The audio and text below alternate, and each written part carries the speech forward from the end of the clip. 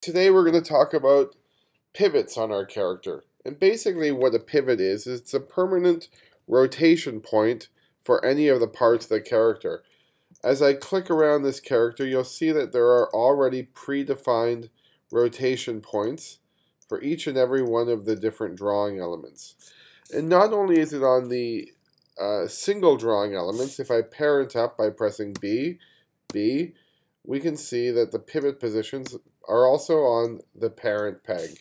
And let's take a look at what I mean by parent peg.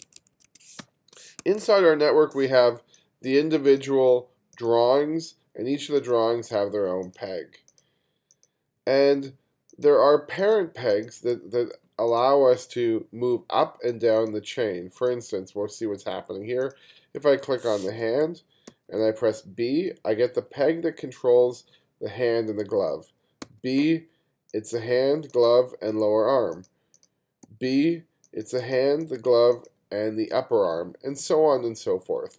And these pivots make it very, very easy for the animators because every time they select an element, the pivot's in the right position.